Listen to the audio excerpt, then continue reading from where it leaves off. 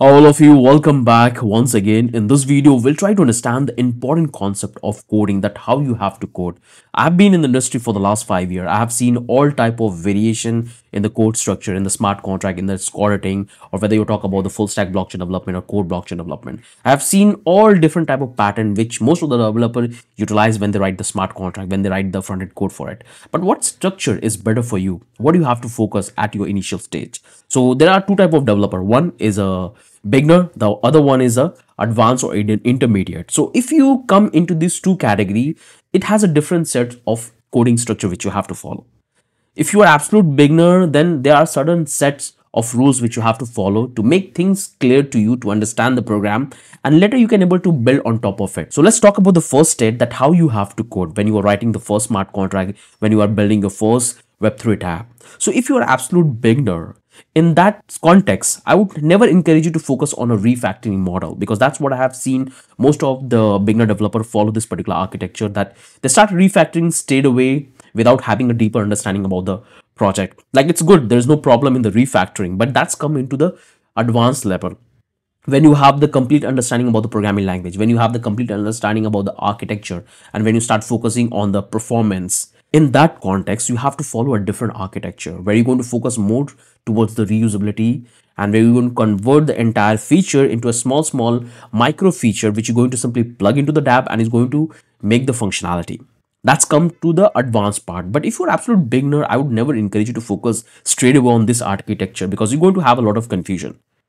You're going to have a lot of confusion. You're not able to understand that what exactly happening. Like first you can take the normal approach. After that you can able to convert it into a reusable model. So you can able to understand that what exactly happening in the program that how, how it was written earlier, how I have converted it and what kind of changes I can easily able to track down in that particular pattern. So this one is very important. So never ever follow the reusable model when you are starting up and you are absolute beginner.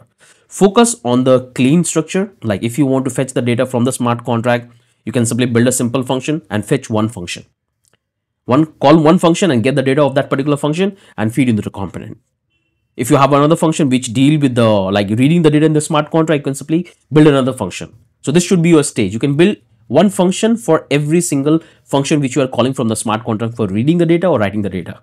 You can take this into a next level by converting into a reusable model. And that will automatically come when you will start working and gaining understanding about the contract different program different logic. When you're going to understand all of that it will automatically come so never ever straight away focus on the like advanced reusable model because this is the problem I have seen in most of the developer. They don't understand that how they have built it. They have just replicated it for somewhere or for watch for the chat GTP or any other AI tools and they are using it. But they are not understanding that why it's working.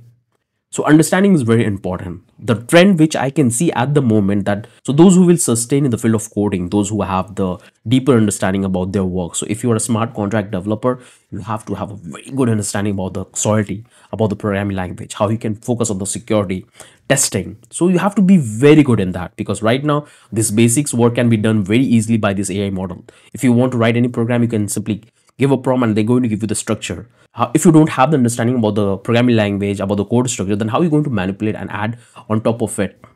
So you have to be very good in your smart contract development. So if you're absolute beginner, never ever focus on straight away on the reusable architecture. That's not a good choice for you. Focus on the complete building from scratch. We have a tons of project on our channel where we have followed the same architecture. First, we have built the long function for reading the data, writing the data. Then we have converted the same function into a reusable model so we can make it our application very light, less code, and less clutter. So this is the architecture you have to follow. Never ever straight away start writing the code without taking a proper idea and designing the architecture.